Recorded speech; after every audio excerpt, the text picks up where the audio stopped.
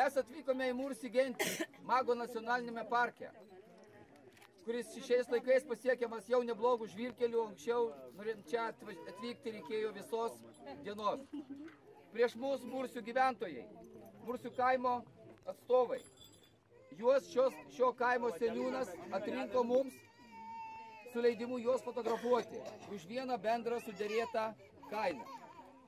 Susitarimas su vietiniais čiabuvais yra labai svarbus, nes bet kokia interpretacija, bet koks nesilaikymas jų tradicijų gali grėsti neramumu, pikčiu, nesantaika.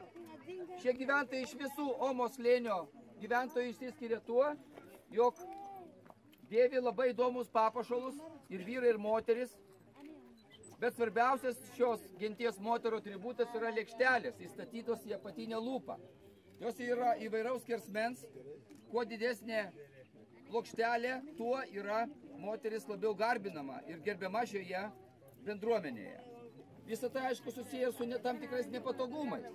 Ta lėkštelė dažniausiai nešiojama, kai norima pasirodyti prieš vyrus, prieš svečius, tokius kaip mes, turistus. Bet šiaip jinai makaluojasi, mataluojasi ir daugiau trukdo nei, nei padeda. Tam, kad ją būtų galima įsistatyti, moteris paukoja savo apatinio žandikaulio kelis priekinius dantis. Tik tokiu būdu gali laikyti šį lėkštelį. Kai kurie iš šios genties vyrų iki šiol turi automatus, kurie jiems reikalingi apginti jų gyvulių bandas nuo laukinių žvėrių, kurių čia sutinkama šiame Mago nacionalinėme parke.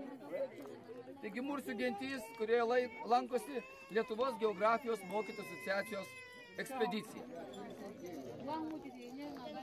Kur jūs esate? Esame Etiopijoje. Mursi gentyje. O kas jūs veža? L? G. LGMA. LGMA. LGMA.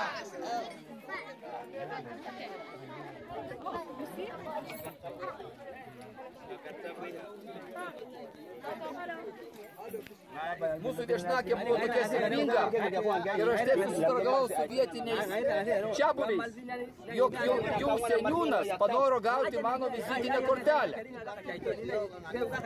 Štai yra seniūnas, kuris vadovauja visam šitam kaimui, kai vyks, vyko dėrybos ir štai yra